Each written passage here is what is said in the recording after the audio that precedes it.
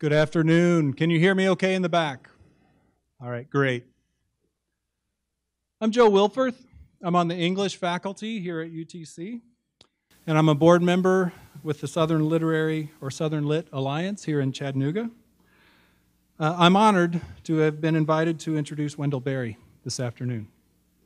Before I do so, let me provide a few words about the conference and the Fellowship of Southern Writers. The Fellowship of Southern Writers uh, had a rather modest beginning here on our campus in the 1980s. Dr. Arlie Herron, former department head and colleague in the Department of English, had a vision to initiate a biennial meeting of Southern authors. The first meeting of this group of writers was in 1981. It was a meeting that ultimately led to the formation of the Fellowship of Southern Writers in 1987. These gatherings every other year became a time of, well, fellowship for the members of the Fellowship of Southern Writers themselves. But the, meeting, the meetings also became a time to provide opportunities for the authors to, one, inspire young writers, UTC students, as well as regional students uh, of all ages in the Chattanooga com uh, community. Two, to commemorate outstanding literary achievement of fellowship members. And three, to recognize distinction of the literary arts by election of new fellowship members. These opportunities are realized in a conference like this. If you were here earlier today or if you're, if you're here tomorrow, you'll see that the fellowship members and their colleagues are doing these things and more. In the years that followed the development of the Fellowship of Southern Writers, that group likewise built a relationship with the Southern Literary Alliance, formerly known as the Arts and Education Council. Indeed, the Southern Lit Alliance has, for the past several years, coordinated this literary festival. On behalf of Linda Levan, on behalf, who's the executive director of the Southern Lit Alliance, on behalf of the board of directors, um, on behalf of the Department of English and the University of Tennessee at Chattanooga, I'm especially delighted, uh, delighted to welcome you all to our lovely campus, to our city, Chattanooga, and to Southward. As I said moments ago, I'm honored to have been invited to introduce Wendell Berry. I fear, however, that I can't do justice to his prolific career in, say, two to three minutes. I can't possibly illustrate the importance of his work, his fiction, his nonfiction, his poetry, the novels, the essays, the political activism, the contrarian voice, the work of a champion of the natural environment. I suspect, in fact, that I don't need to do so here, at least to, not to many or most of you. For the initiated, I've already gone on too long. But for those of you for whom or to whom Wendell Berry and his work is an undiscovered treasure, let me provide some brief introduction here, and then I invite you to discover his work on your own. Wendell and his wife Tanya Berry live and work on their farm in Port Royal, Kentucky. He was born in Henry County, Kentucky in 1934, so it's no stretch to say that Kentucky is his home, his home ground. It's a place out of which he writes. He earned a bachelor's degree from the University of Kentucky in 1956, and in the following year earned a master's degree at the same institution. In 1958, he received a Wallace Stegner Fellowship from Stanford University. He taught in the following years at Stanford. In the years that followed that, he's taught at Georgetown, NYU, the University of Cincinnati, and Bucknell University. He taught at his alma mater, the University of Kentucky, from 1964 to 1977, and again from 1987 to 1993. He's authored more than 40 works of poetry, fiction, nonfiction. He's the, he's the recipient of awards too numerous to list here, but they include a Guggenheim Foundation Fellowship, a National Institute of Arts and Letters Award for Writing, the American Academy of Arts and Letters Jean Stein Award, a Lannan Foundation Award for Nonfiction, the John Hay Award from the Orion Society, the Lyndhurst Prize, the Aiken Taylor Award for Poetry from the Sewanee Review, the National Humanities uh, Medal in, in 2010 from Barack Obama, and more. Most important, he gained membership into the Fellowship of Southern Writers in 1991. Let's show him how grateful we are that he and Tanya are here tonight. Please join me in welcoming to the stage Wendell Berry.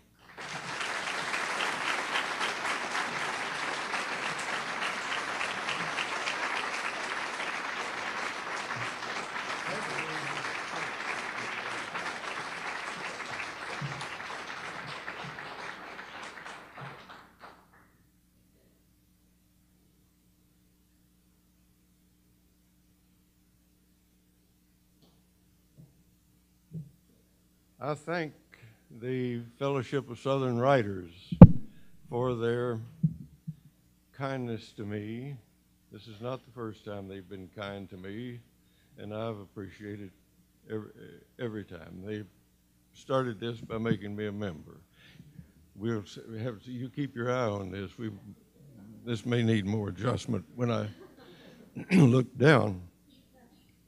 But anyway, I, I'm I'm grateful to it, to this organization for its kindness to me, and I'm also grateful to it for existing.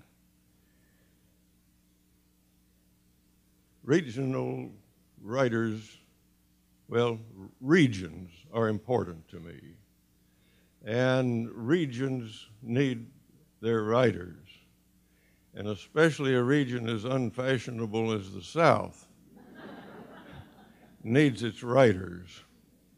And there's never any knowing when the writers are going to need each other. And that's a, an issue I think needs to be borne in mind.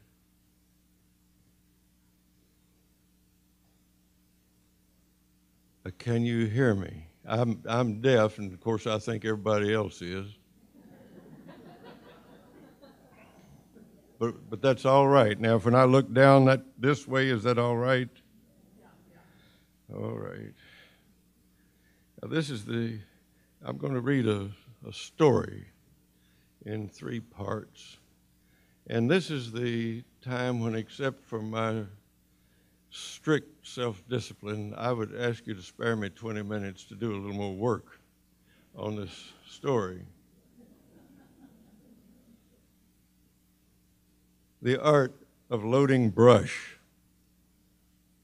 Part 1. At last, full of the knowledge of the wonder it is to be a man walking upon the earth, Andy Catlett is past 80 now, still at work in the fashion of a one handed old man. He has done without his right hand, given away to a corn picker for more than 40 years, and he does not miss it much. But he has been old, it seems to him for only three or four years, and he misses pretty freshly what was once his strength. His farming now is reduced to caring for his livestock and small tasks of upkeep on what he is apt still to think of as the Riley Harford place, its name long before he attached his own to it.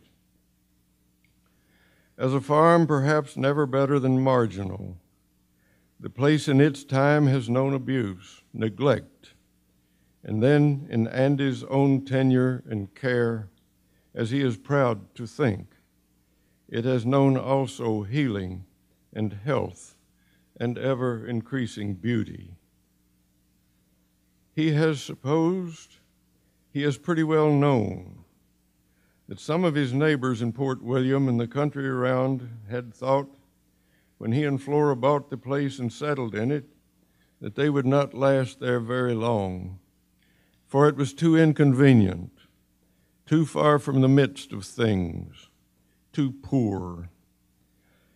And so Andy has delighted a little in numbering as disproof and as proof the decades of their inhabitants, the 1960s, the 70s, the 80s, the 90s, and now they have lived there more than half a century, long past the doubts and the doubters that they would last. Now it has become beyond doubt or question their place, and they have become its people. They have given their lives into it, and it has lived in their lives. Of all his kindred, Andy has become the oldest. He is one of the last who remembers Old Port William, as he now calls it, as it was when it and the country around it were still intact, at one with its own memory and knowledge of itself. In the days before VJ Day and the industrializing of land and people that followed, he is one of the last of the still living who was born directly into the influence of the best men of his grandfather Catlett's generation, who confidently, despite their struggles, assigned paramount value to the good tending of their fields, to a good day's work with the fundamental hand tools, to the stance and character of a good mule. The inheritance that has made Andy so far out of place in the present world.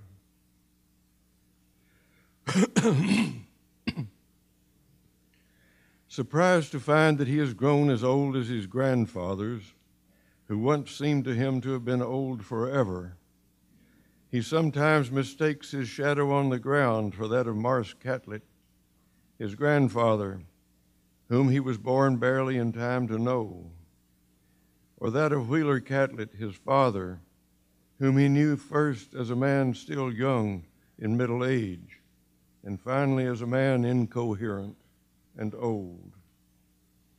Their grandson and son, he has come at last into brotherhood with them.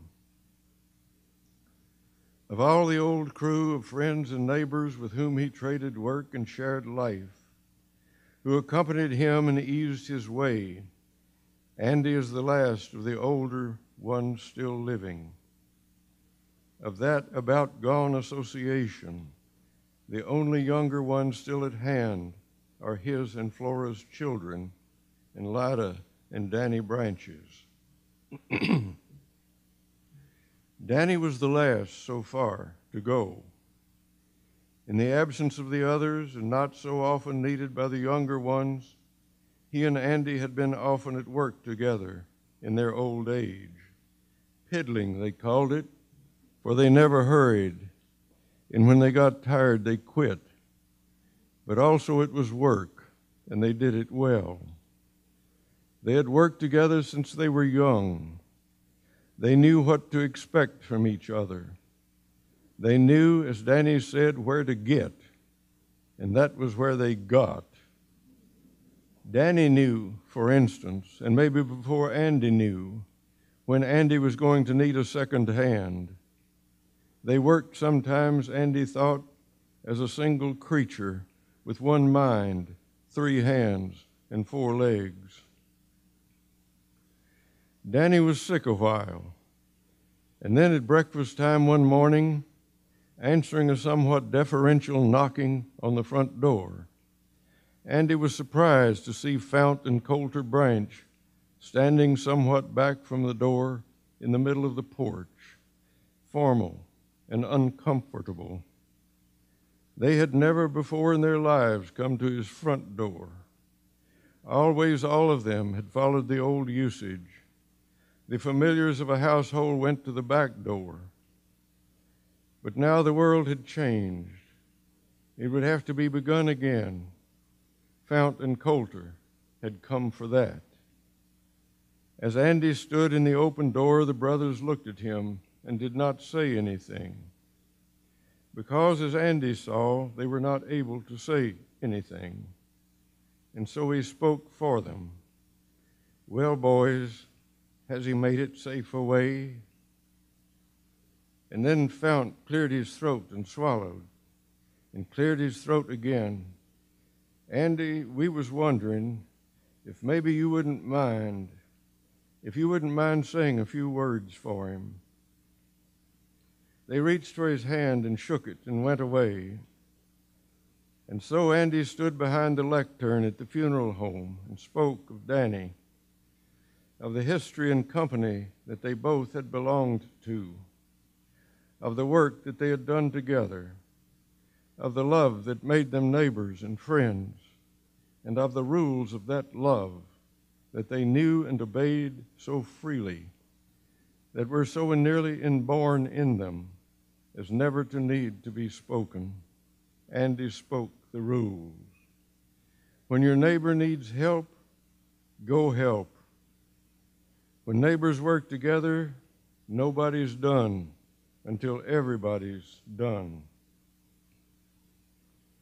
Looking at the younger ones, his and Danny's, who now were looking back at him, he spoke the names of the old membership, dead and living, into whose company the younger ones had been born. He spoke of their enduring, their sweat, and their laughter. This is your history, he said. This is who you are as long as you are here and willing. If you're willing, this is yours to inherit and carry on. Having outlived so many and so much that will not be known again in this world, Andy has come to feel in body and mind sudden afflictions of sorrow for the loss of people, places, and times. He has passed the watershed in his life when he began losing old friends faster than he made new ones. Now he is far better acquainted in the graveyard on the hill at Port William than in the living town. And so he is diminished, and so he lives on, his mind more and more enriched by the company of immortals who inhabit it. He is often given to the thought of subtraction, of what has been given, what taken, what remains. He is no longer surprised when he is alone to hear himself speak aloud some prayer of gratitude or blessing. And yet, by their absence, his old companions have in a way come closer to him than they were when they were alive.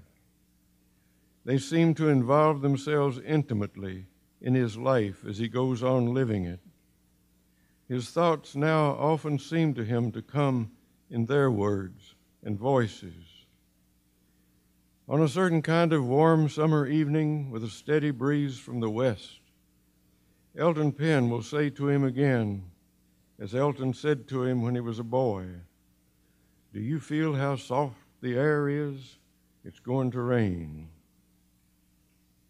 Or sometimes when he is looking with satisfaction at his steep pastures, now healed and haired over with grass, he will hear his father say, This land responds to good treatment.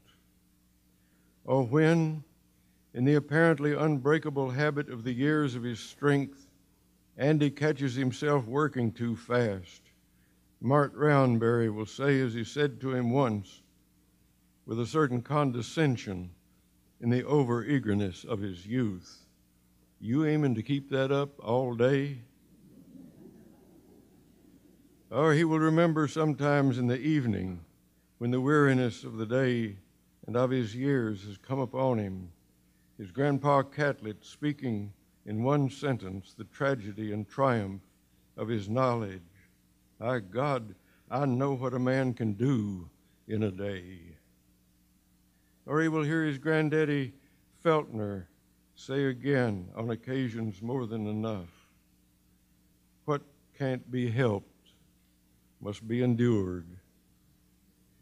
Or when, as sometimes happens, he is listening to somebody who has started talking and can't stop, he recalls the judgment of Art Rowanberry. I reckon he must be a right smart fellow. But whatever he knows, he learnt it from himself.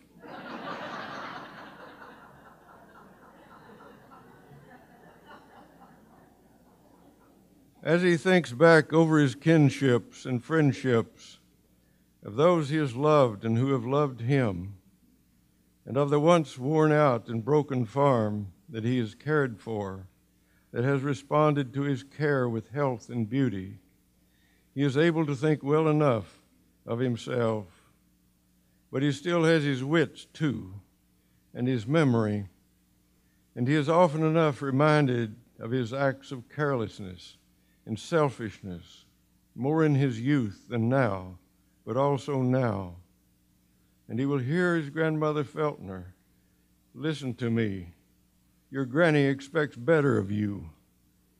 And so she taught him as he flinched from her gaze to expect better of himself.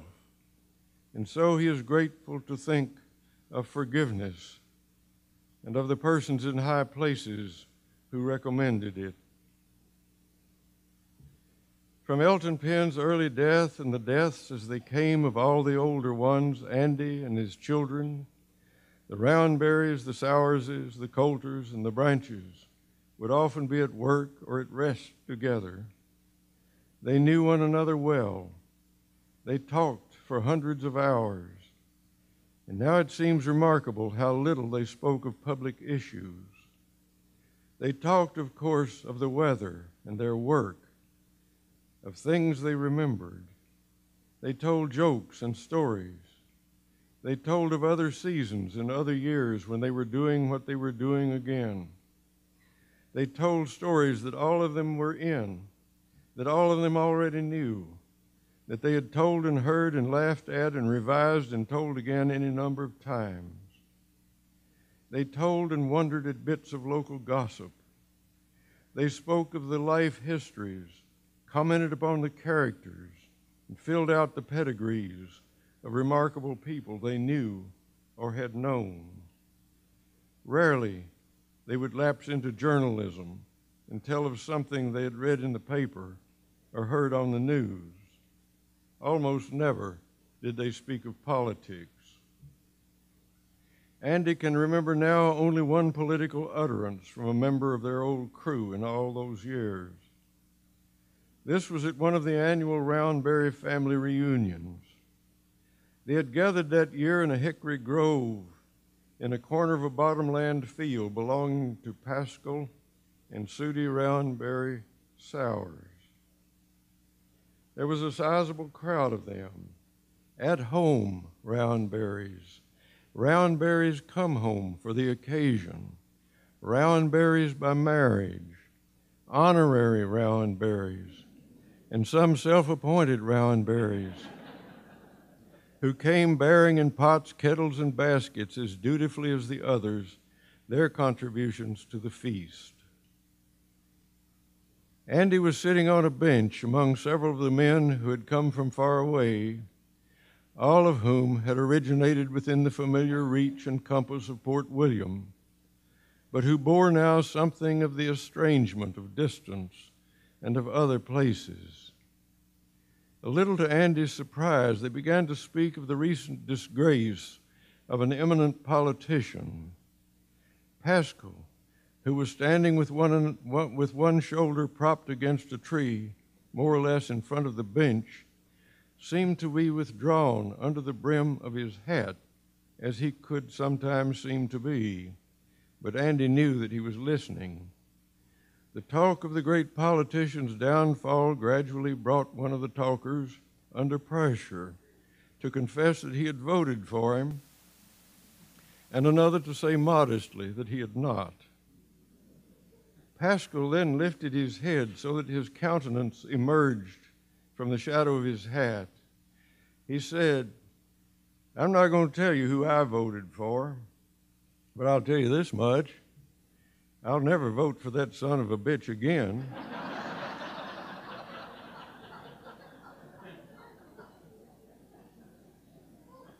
Ill fated as he has always been to the present age of the world, much more ill fitted to it as he has come to be. And he is yet in part and inextricably its creature, captured and held to it even by his contrariness against it drawn too much left or right by the toxic simplifications of its politics, too much subject to the seduction of its economy. Often enough, he knows he has spent money he knew he should have kept. Often enough, he has been tempted to buy something he knew he did not need, only by a second thought, separating himself from the dog trained consumers who obediently pay too much for whatever is new. He knows that among that multitude he would disappear from the ghosts he most needs to be to remain known by. He rescues himself by vigilance and fear. And then invariably he will hear Danny Branch's admonition to Reuben, his temporarily youthful and extravagant son Sweetheart, you will finally learn. Don't let the sons of bitches get a hold of your money. Often enough, in his remembering, he will be delighted. He will laugh. And his laughter will be complicated by respect for the completeness and the stature that come only to the dead, and by the knowledge of loss and by grief.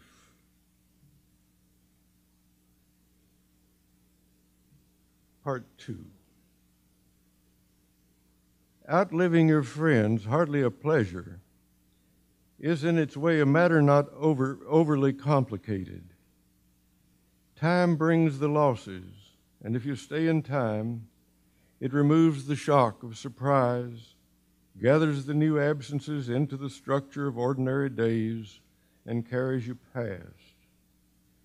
But Andy also has begun to outlive his fences. And in the present age of the world, that is verily a complication. He had missed by a lifetime or more the age of the rock fences. When he was born, some of them were still in use, but they were frost heaved and crumbling. Nobody anymore had the skill or the time to mend them. They were being replaced by wire, the tumbled rocks left lying or cast into piles out of the way or, kid, or napped into road gravel. And so, as he grew up, he learned to fence with wire. After he and Flora settled on the Harford place, he renewed all the old fences and added more, sometimes with help, but often alone. As the years passed, he repaired and then rebuilt those fences. But then he had been still in his strength, and for a long time, when he needed help, he had his friends and his children. Now, in his old age, he still knows how to build a fence, but he is without the all day strength and stamina to do it. And the generation of Port William men who knew either how to build a fence or how to help is by now as decrepit as he is or dead and gone. Of all the ones Andy knows, the only one he could freely call on who could build a fence is Marce, his son.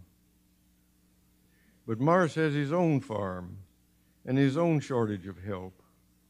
Though he is nearby and watchful and capable and always ready to help when needed and often does help, Andy doesn't want to ask him to take on a big job. He feels a greater reluctance to call on any of the branches. He knows that if he asked, they would feel obligated and would come, whether it suited them or not. And so when he had spliced and retightened and stobbed up a length, a lengthy stretch of old barbed wire to about its and his own limit, he started asking around for somebody else he could hire to rebuild it. A friend of his gave him the name of a friend of his who gave him the name of Shad, short for Shadrach Harbison. Shad Harbison was an entrepreneur from down about Elville who farmed some, carpentered some, did about anything anybody wanted done, including fence building, and had a crew and the equipment to do the job. Andy called Mr. Harbison on the phone and told him what he needed. Would he be interested?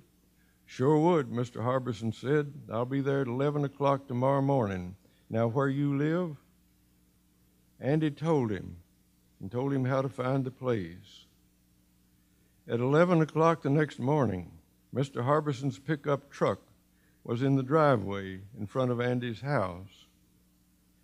Andy would not have been surprised if he had been late or had never showed up, but he was on time to the minute. Andy thanked him for his punctuality, and from then to the end of their association, he would have no further reason to thank him.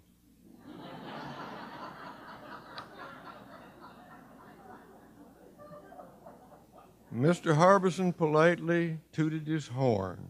They introduced themselves and shook hands. Mr. Harbison, without unduly noticing the absence of Andy's right hand, had given him his own left hand. Call me Shad.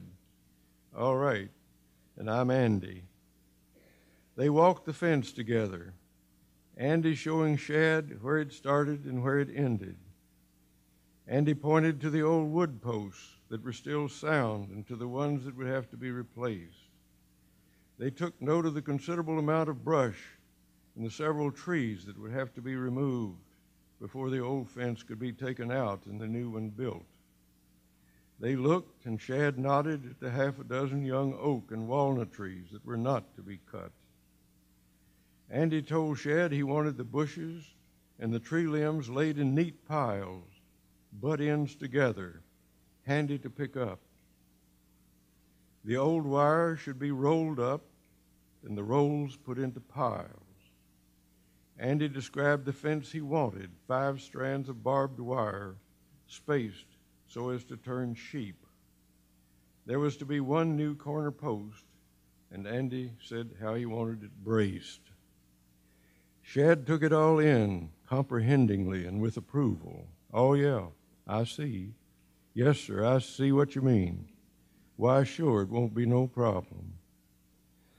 They came to an understanding on the price.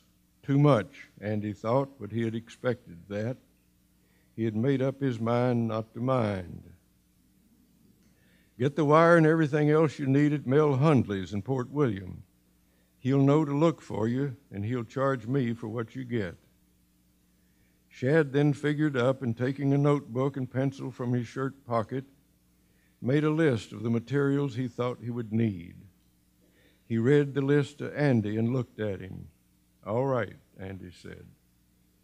And then, prompted by a committee of his ghosts, he said, looking Shad in the eye, I'm asking you to do this because I think you'll do it right.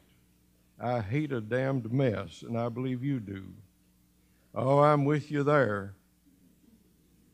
It ain't a bit more trouble to do it right than it is to do it wrong. They shook hands. Tuesday week, said Shad, early. I'll be looking for you. On Tuesday, not early, a large, powerful red pickup truck with a large metal toolbox behind the cab came rumbling up the lane and into the driveway. The truck was pulling a large trailer of the kind known as a lowboy, upon which was riding a large red tractor. A large, soft looking, somewhat sleepy young man got out of the cab and turned to look at Andy. Andy was grinning to cover his displeasure at the looks of the young man. If you're looking for Andy Catlett, I'm him. He stuck out his only hand. Deciding to do what, what deciding what to do with it occupied the young man for an awkward moment, and then another and then turning his right hand approximately upside down, he allowed Andy to shake it. I'm Nub, the young man said. Are you Shad Harbison's son? Well, I reckon, Nub said, implying that this should have been obvious. And then an assortment of three other men had emerged from the cab. Had the surplus flesh of Nub been distributed evenly among them, they would have been much improved. They were lean, with the leanness of wear and tear, of four or five Saturday nights a week for too many weeks. There was not a full set of teeth or a matched pair of eyes among them. Andy put his hand in his pocket. Fellows, I'm Andy Catlett. I'm Junior, said the first. I'm Junior, said the second, who clearly had looked forward to Andy's surprise at the, at the coincidence. Twins, Andy said. And the juniors got a laugh out of that. The third neither laughed nor smiled. He said, Clay. Andy turned back to Nub. Where's your dad? Bringing the wire and stuff. They unloaded the tractor and Andy showed Nub where to leave the trailer. Then, with Andy opening the gates and pointing the way, Nub driving the truck and Clay the tractor, they went up the hill to start work. Andy had a prejudice against heavy machinery. When a big truck or tractor came onto his place, his prejudice was a sort of loose ache somewhere inside him or in the air around him. He had anticipated the truck and the tractor and was reconciled, but he allowed himself to believe that they would be accompanied by a competent human. when they had got to the fence line and dismounted, he said to Nub, I suppose your dad told you what we're doing here? Well, I reckon. But Shad, who was perhaps a competent human, still had not come. So far, that was not necessarily a problem, for the line would have to be cleared and the old wire removed before the new materials would be needed. Andy showed Nub everything he had shown his father. Now you see what has to be done? Well, I reckon. By now, Andy was conscientiously restraining his dislike for this slack fleshed young man whose favorite three words bore invariably the whiff of intellectual superiority. The two juniors and Clay were unloading tools from the truck. Andy had work of his own waiting for him that morning. He resolutely abandoned the fencing job to Nub and his crew and walked away but he carried with him the insinuating small ache of his uneasiness, and his footing on the slope felt unsure, as if he were walking on mud. When he went back, Shad had come with the supplies, which had been unloaded, and he and the crew were finishing their lunch in the shade of a tree midway of the fence row. From there, all the results of their morning's work were revealed to Andy. The brush, instead of piling it neatly as he had asked, they had merely flung out of their way. The old wire, too, they had rolled up or wadded into handfuls and flung out of the way. And they had removed not only the old barbed wire, but beyond that also perhaps 200 feet of still very good woven wire. They had so mangled in tearing it out that it could not be put back. Had Nub the all reckoning one started the others and forgotten to tell them to stop? Had he been asleep? Was he perhaps awake only when at the wheel of his magnificent pickup truck? After he had succeeded in believing his eyes, Andy turned to look at Shad, who was, with perfect candor, looking at him. Needing very much to say something, Andy thought of nothing. It was Nub the master of subtlety, who first spoke. It wasn't no sense in tearing out that good wire. His tone was corrective, even instructive. So far as Andy could think in the moment, and he was a slow thinker, he was licked. They had, however clumsily, taken him hostage. His old fence was now gone. He needed it and they were the ones most available to replace it. Further thoughts, as he knew and feared, would come later. But when he replied, his voice was quiet. No, there was no sense in it. Don't tear out any more. He looked at Shad. You're going to be with these people until they're finished, I hope. Oh, yeah, I'll be here. And you remember how to space the strands. Shad recited the measurements, which encouraged Andy a little. He said, Well, all right. He went back a few times to see what they were doing and to signify his distrust.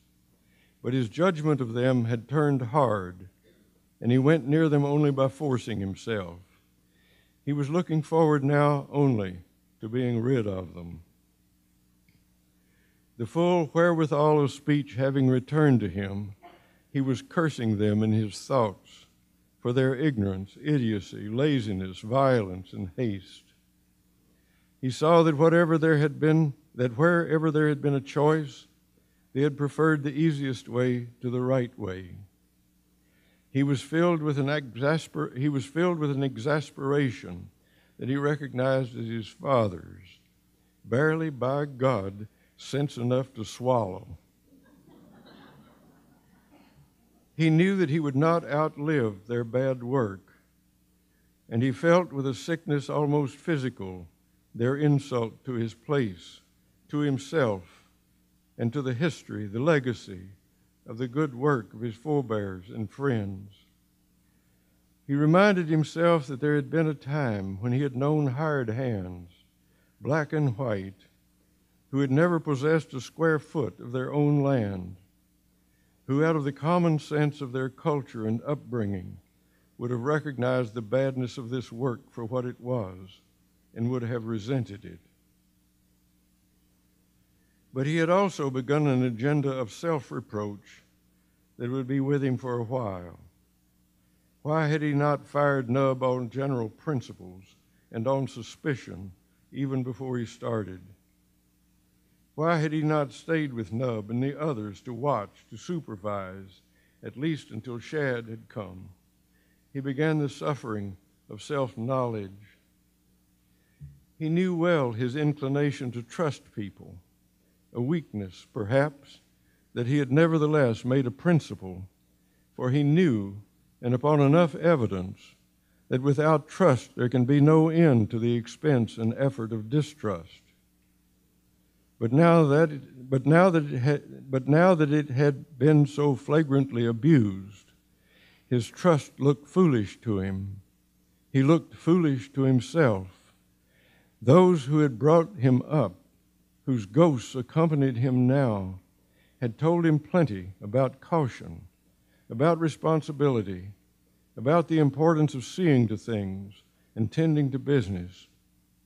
And he had once infer- and he had once in fact gone so far himself as to fire a man who had come to replace a barn door and whose work was so careless and slovenly as to be destructive. The man apparently had concluded, as apparently Nub and Company had done, that a place so obviously inferior, so far off the road and out of the modern world as this old Harford place, did not deserve his respect or his best work. But firing the man and his one exploit as a firer had given him no pleasure, not even in his initial anger, and the lapse of more than enough time had not taken away his distaste. But now, as he accused himself of not having fired or supervised Nub when he should have done so, it came to him that on the farms he had known in his early life, he remembered nothing at all of supervising and firing. His grandfather Catlett, for example, had one hired hand, Dick Watson, a black man, whom as a child Andy had looked up to and loved, whom he still loves. Andy spent hundreds of hours in the company of Grandpa Catlett and Dick Watson. Though the order of work was set, of course, by Grandpa, he never, in Andy's hearing, told Dick how to do anything or made a supervisory remark of any kind. Past work himself, Grandpa would often be watching, but he spoke of Dick's work to Andy only to commend it to speak of Dick as an example for Andy to learn from. Look yonder at how old Dick sets up and takes hold of his mules. Thinking back, Andy can see that Grandpa Catlett trusted Dick Watson to work well because Dick was capable of working well, did so willingly, took pride in doing so, and trusted Grandpa to see that this was so. They were, to the extent of their mutual trust, free of each other. Free, that is, to sit down together on upturned buckets in the doorway of the barn, to talk and look out at the rain.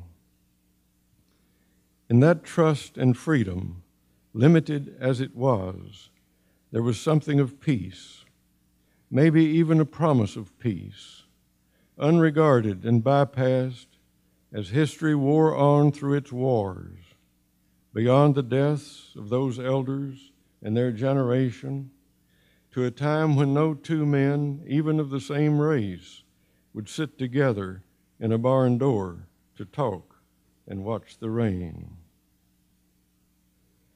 During his first 20 or so years, Andy played and then worked in the company of a good many hands, black and white, who worked by the day, straight time, or temporarily as through a harvest.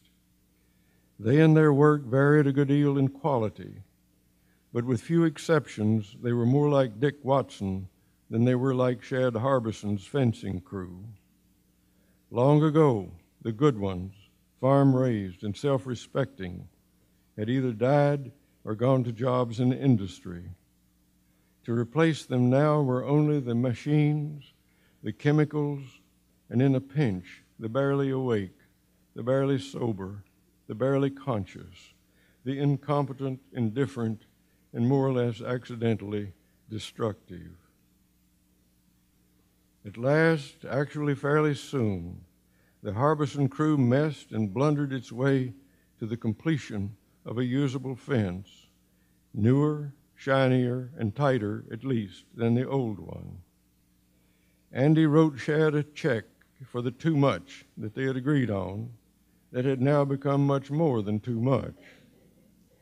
Shad graciously accepted the check and hoped that Andy, if he ever had more fence to build, would just let him know. Thanks, Andy said, and he watched their vehicles go down the lane and out of sight, he hoped, forever.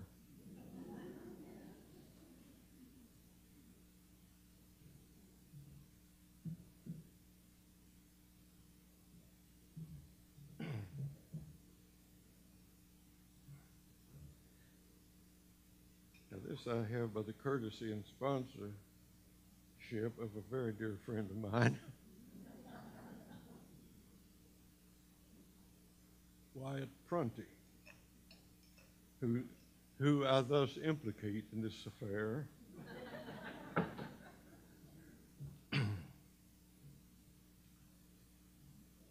Part three.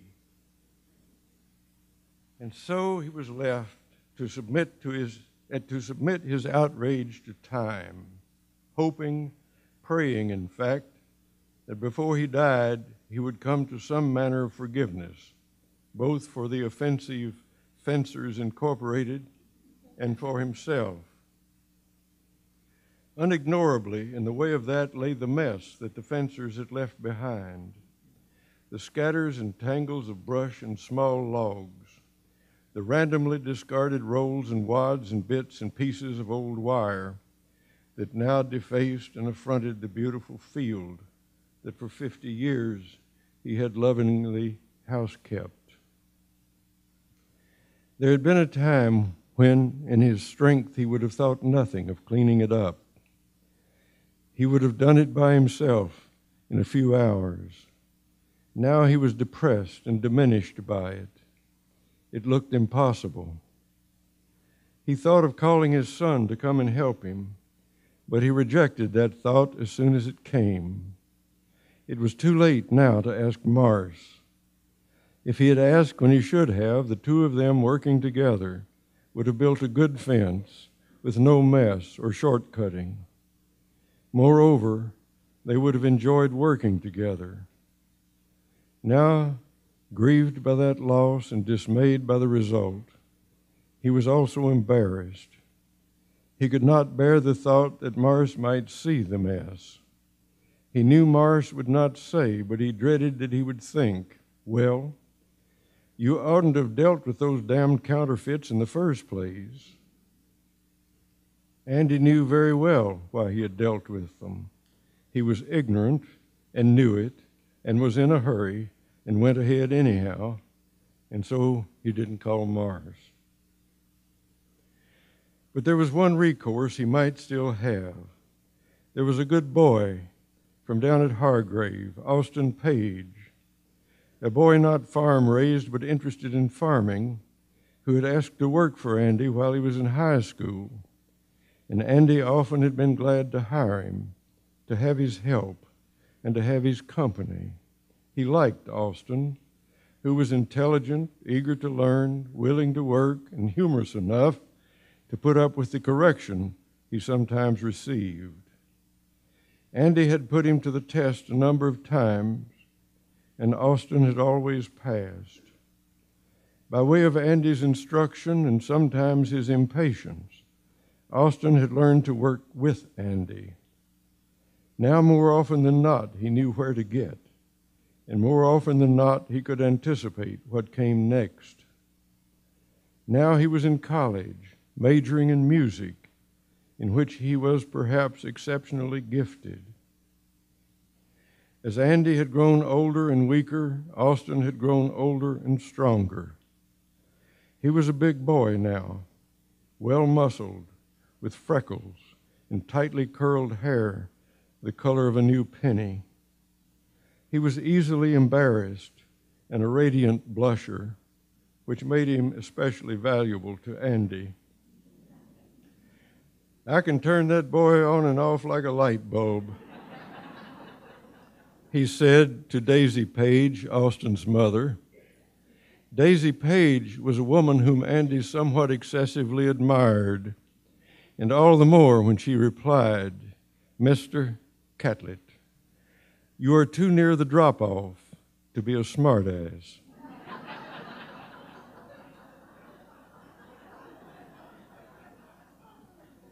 She said that as a prelude to saying that Austin soon would be done with his summer courses and was wondering might Andy have work for him before he had to return for the fall semester?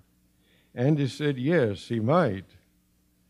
And so it happened that about three days after the departure of Harbison and crew, when Andy was sorely needing him, Austin called him up. Mr. Catlett, this is Austin. Do you need help? Do you mean, am I helpless?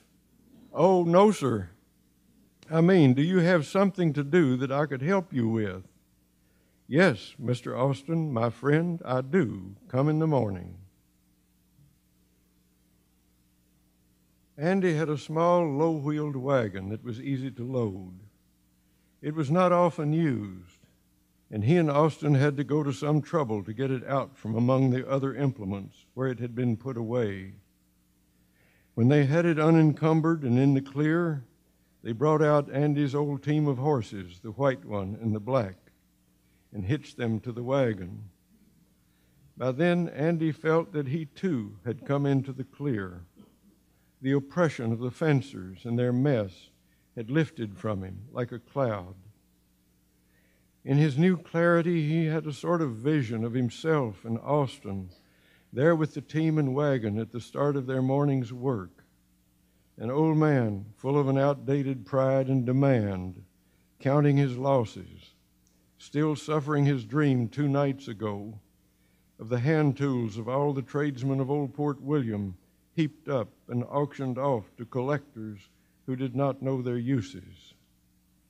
And standing beside him, this vivid boy, his mind on fire, his hair burning his cap off, this Austin Page, fresh from his summer courses, clearly glad now to be with Andy, outdoors, going to work. Andy handled, handed the lines to Austin and was amused, also much pleased, that Austin took them up as a matter of course into his own hands and spoke to the team. They went up to the fence row. When they had come to their starting place, Andy said, Whoa, and he and Austin stepped off the wagon. Andy said, You see what we've got to do, it's a mess. And Austin, quoting and correcting, said, A damned mess. And Andy laughed. We'll pick up the brush first, he said, and we'll pile up the wire as we find it. It's scattered everywhere. We'll pick that up last. Finding all of it will be the problem. In fact, they would not find it all that day. As Andy expected, he would be finding the smaller pieces by surprise for a long time. Once, as he had feared, he found a fugitive hank of the heaviest of it by cutting into it with his mowing machine. He picked up the first limb and laid it on the wagon. And then Austin picked up a somewhat larger one, and from a distance perhaps of a dozen feet, with a young athlete's depreciating nonchalance, tossed it over onto the one Andy had loaded. Hold on, Andy said. Wait a minute. He had spoken almost before he thought. In his happiness at Austin's arrival to help him, Andy had seemed to himself to be both in the moment and outside it, watching. And now, his mind alerted in all the strata of its years, he was inhabiting also a moment much older. He was 14 years old and had been formally hired not at last by his father, but by Elton Penn to help in the tobacco harvest, and thus, small for his age as he was, had arrived at last at the status and dignity of a hand. But he had just handed Elton a stick of tobacco, turning loose his end as soon as Elton took hold of, his, of the other, greatly increasing the effort for Elton. Now, wait a minute. Elton had a transfixing grin, and Andy was transfixed, knowing well by then that his situation could get worse. You handed that stick to me wrong. Now I'm handing it to you right. Now you hand it back to me right. That's the way. That's the way I want you to hand it to me from now on. Andy said, Austin, my good boy, damn it, wait a minute. We ain't going to make a mess to clean up a mess. Do you want to put one load into three loads or into one load? He looked at Austin until Austin said, Well, obviously, I would rather put one load into one load. Andy saw that Austin's ears were turning red, and he was amused, but he said fairly sternly, Well, come and pick up that branch you just threw on and turn it over so it takes up less room. Now snug the butt up against the headboard of the wagon. That's right, he said. That's the way we do it. We pick up every piece and look at it and put it on the load in the place where it belongs. We think of the shape of every limb and stem and chunk and pole, and that's the way we shape the load. It's the use of the mind, he said, what they ought to be teaching you in school. Andy and Henry, his brother, had gone to see Elton one day shortly after old Jack Beecham had died, and Elton had bought the old Beecham place. In old Jack's declining years, he had become dependent on hired hands and tenants, some of whom had not lived or worked up to old Jack's standards. They had not stayed long, but they had each left a deposit of dooryard trash, broken toys, bits of furniture, things put down and left lying.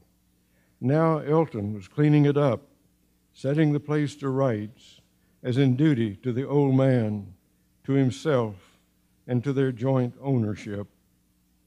The Catlett brothers found nobody at home that day, but in the barn lot there was a wagon loaded with the debris of human carelessness as well as bits of old lumber and the scattered rocks that Elton had picked up as he went along.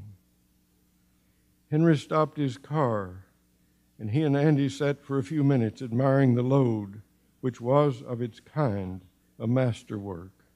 Every piece, every scrap conferred upon the whole load the happiness of its right placement.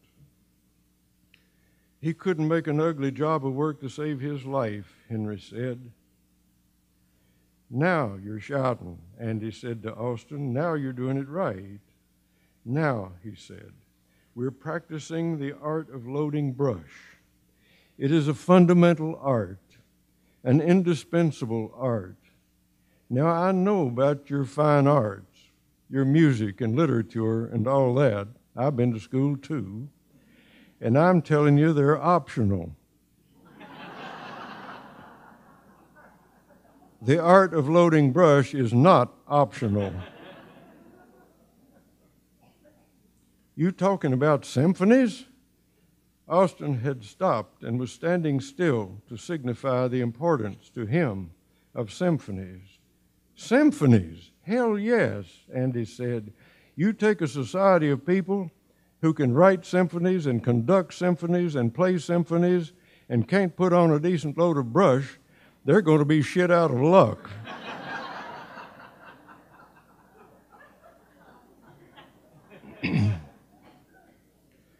Austin's face, starting with his ears, had become almost astonishingly red, and Andy rejoiced. He was bearing joyfully now the burden of knowing better. Maybe in the passing on of his ghostly knowledge, he was doing his duty to Austin. He was sure that a man hiring a boy had a duty to help him along if he could.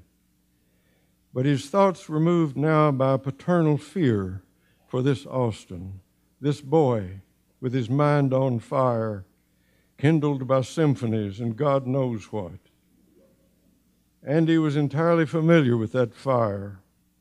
Any sorry poor human having a mind, sometime or another it would be on fire, with the old prospect of burning the mind's owner or burning the world, invoking always the old familial hope for every grown boy, anyhow, that the heat might be so contained as to warm a hearth or boil a kettle without burning down the house. So an old man, leaning toward a young one, would try to dampen a little the omnivorous blaze.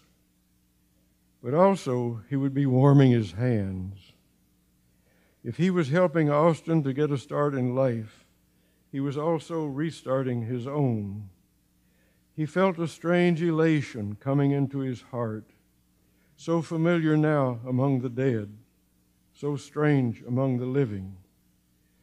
He wasn't going to say much more, but for the moment he was standing his ground. My dear Austin, my good boy, maybe it's possible to blow things up and burn things up and tear things down and throw things away and make music all at the same time. Some, it looks like, think you can. But if you don't have people, a lot of people, whose hands can make order of whatever they pick up, you're going to be shit out of luck. And in my opinion, if the art of loading brush dies out, the art of making music finally will die out too. You tell your professors when you go back that you met an old provincial man, a leftover, who told you no high culture without low culture. And when low culture is the scarcest, it is the highest. Tell them that. And then tell me what they say. now, instead of blushing, Austin was thinking. His face, his posture, his movements, all now bore the implication of thought. He said finally, I reckon you'd make brush loading a required course for music majors. Andy laughed, which he had been wanting to do for some time. I probably would if it was up to me, but listen, Austin, I'm serious. I know it. And I'm telling you all this because I'm your friend. I know it. They finished the load. Andy took the lines himself this time. He stood to drive, and Austin made himself an uncomfortable place to perch. The art of piling brush begins and ends, Andy says, with knowing where to pile it. He drove some distance to where a grassy slope came down to a wooded bluff. They came to a swale in the pasture where once there had been a gully, now long healed and sodded over, haired over, his father would say. But the gully was still open and raw where it steepened, going into the woods. Andy positioned the wagon just above that place. He had a theory, 200 years too late to prove, that gullies like this one had been opened by plowing and cropping the slopes. Before that, when the country still wore its deep, porous, root bound, original soil. The water draining through such places was more apt to seep than to flow. Where the slopes were not too steep, they could be healed under grass. On the bluffs, even after the trees had returned, the healing would be slow, if it could happen, if it could happen in human time. Andy, nonetheless, loved the thought of the healing of the gullies. He knew they could not be healed from the bottom up, for there the flow had gathered too much force. But for a good while he had thought experimentally that by using brush to slow and divert the flow a little just below the edge of the grass, he might start the healing from the top. He laid his thinking out for Austin, showed him what he had in mind, and then to the head of the gully they applied the art of piling brush. And so they worked through the morning. And so they worked to the end of their task in the middle of the afternoon. By then, Andy was tired. By then, Austin was doing most of the work and all of the hardest of it. Andy was keeping out of his way, helping a little as he could, and watching as Austin stepped with the happiness of his young strength into the work. About as far as it could be done in Andy's lifetime, they had undone the bad work of the fencers. Maybe they had helped a little the healing of the hurt world. And he was proud of the boy.